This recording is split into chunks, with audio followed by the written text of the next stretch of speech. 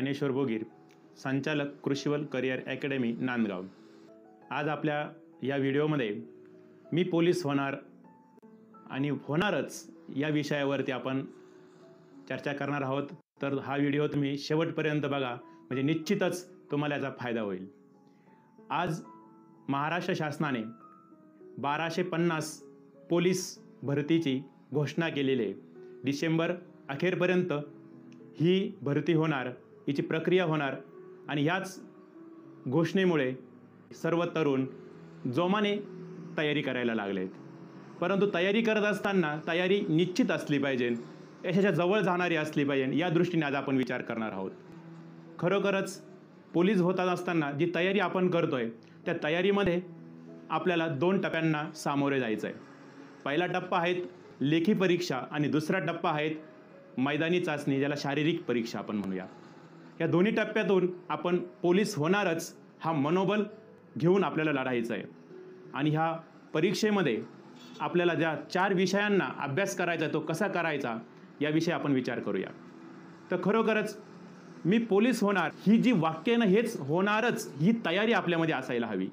आणि त्यासाठी आपल्याला परीक्षेचा एक निश्चित रणनीती आखावा लागेल.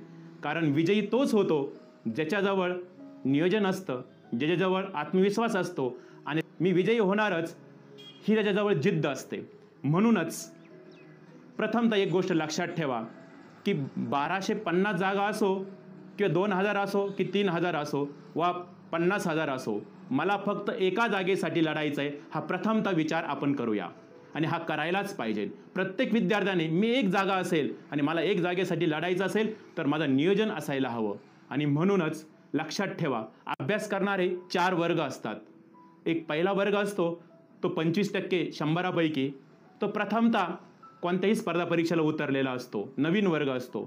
त्यालाही एक दिशा कशी मिळेल? त्याचबरोबर दुसरा पंचवीस टक्क्याचा वर्ग असतो तो कधीतरी एकदा परीक्षेला गेलेला असतो किंवा बऱ्याच दिवसापासून तो अभ्यास करत असतो. त्याचं जे तळ्यात किंवा मळ्यात आपण म्हणतो ना त्या पद्धतीचं नियोजन असतं. तिसरा जो वर्ग असतो त्याने एक दोन तीन वेळेस प्रयत्न केलेला असतो आणि त्या प्रयत्नात त्याला अपयश आलेलं असतं. परंतु त्याच्यामध्ये एक मनामध्ये कुठेतरी एक जिद्द असते की या वेळेस माझं निवड होणार माझं सिलेक्शन होणार. आणि चौथा जो वर्ग असतो ह्या चौथ्या वर्गाचं मनोबल इतकं दांडगं असतं.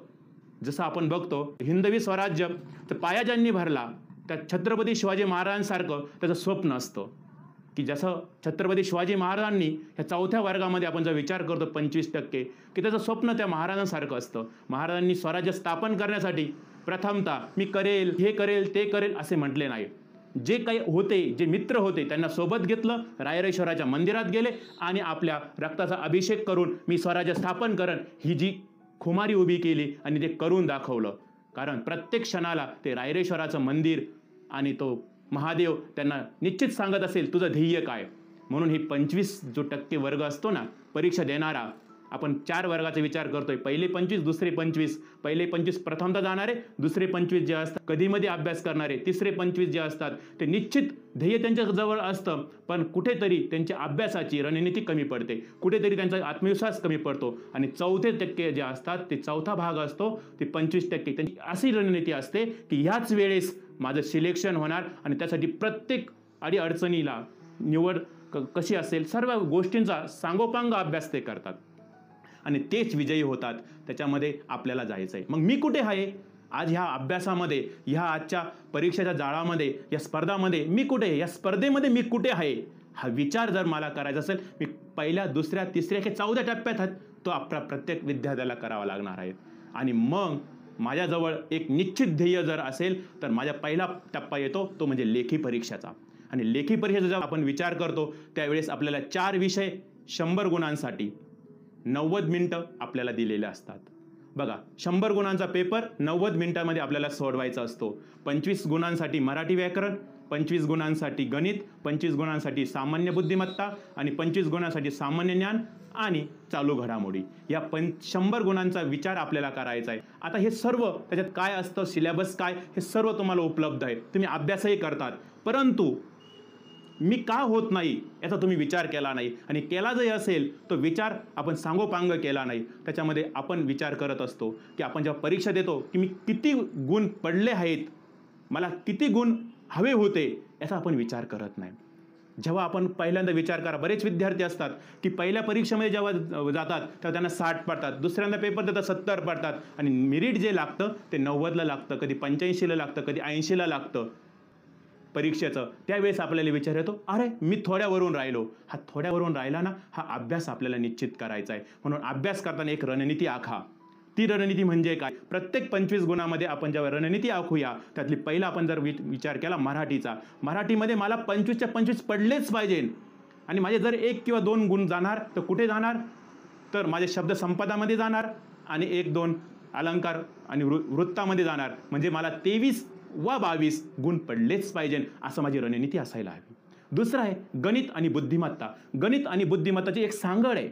ज्याचं गणित चांगलं त्याला बुद्धिमत्ता येते. बुद्धिमत्ता आणि गणित हे दोघं एकमेकावर अवलंबून विषय आहेत. म्हणून गणिताचा अभ्यास करत असताना कोणते गणित मला येत नाही? गणिताचा अभ्यास तीन स्तरावर झाला पाहिजे. पहिल्यांदा मला जे प्रकरण आहे ते सर्व येणारे प्रकरण गणित बुद्धिमत्तेचे माहीत असायला हवे. दुसरा टप्पा त्याच्यातले सूत्र क्लुप्त्या बारकावे मी मला येतात का नाही ते माहीत असायला पाहिजे. आणि तिसरी गोष्ट जी आपल्याकडे कमी आहे ती म्हणजे काय? येणारे क्लुप्त्या सूत्र हे जे आहेत ते मला न बघता काही न करता मला मी लिहितो लिहून ठेवले गेले पाहिजे. मी लिहिलेले पाहिजे ते ते क्लुप्त्या सूत्र. आणि ते आठवलं पाहिजे. कारण कोणतीही परीक्षा चालते ना ती फक्त तत्काल स्मृतीवर चालते. तुम्हाला किती अभ्यास आहे. परीक्षेचा हॉल नव्वद मिनिटानंतर तुमचं किती नॉलेज आहे किती ज्ञान आहे हे परीक्षक बघत नाही. तर तुम्हाला नव्वद मिनिटामध्ये काय आलं? प्रेझेंट मेमरी ही खूप महत्त्वाची आहे. म्हणून ना गणित बुद्धिमत्ताचा अभ्यास करत असताना प्रत्येक सूत्रक्लुप्ती मी पाठांतरच केली गेली पाहिजे. आणि शेवटचा विषय असतो तो सामान्य ज्ञान. सामान्य ज्ञानाचा ज्यावेळेस आपण अभ्यास करूया त्यावेळेस चालू घडामोडी आणि इतिहास असेल भूगोल असेल अर्थशास्त्र असेल राज्यशास्त्र असेल विज्ञान असेल हे सर्व विषय यांचा अभ्यास कसा करायचा त्याचा आपण विचार करूया. तर सामान्य ज्ञानामधला दुसरा चालू घडामोडी आणि सामान्य ज्ञान हे सर्व विषय जे सांगितले यांचा अभ्यास करत असताना प्रत्येक विषय वाईज मला अभ्यास करावा लागतो. आणि चालू घडामोडीमध्ये दररोज जर मी एक तास चालू घडामोडीला दिला आज आपल्याजवळ एक अँड्रॉइड मोबाईल आहे. त्याच्यामध्ये सर्व काही आहेत. त्यानुसार मी नोट्स काढल्या पाहिजे तर अशा पद्धतीने जर आपण अभ्यास केला तर लेखी परीक्षाचा तुम्हाला निश्चितच प्रत्येक विषयाला जर आपण केलं. पहिले तीन विषयाला पंच्याहत्तरपैकी तुम्हाला पासष्ट गुण मिळू शकतात. त्याच्यापेक्षा जर तुम्हाला पुढे जायचं असेल तर अधिक सखोल अभ्यास व्यवस्थित करायला हवा आपण. आणि त्याच्यामध्ये आपण ह्या सामान्य ज्ञान आणि चालू घडामोडीमध्ये तुम्हाला वीस गुण मिळू शकतात.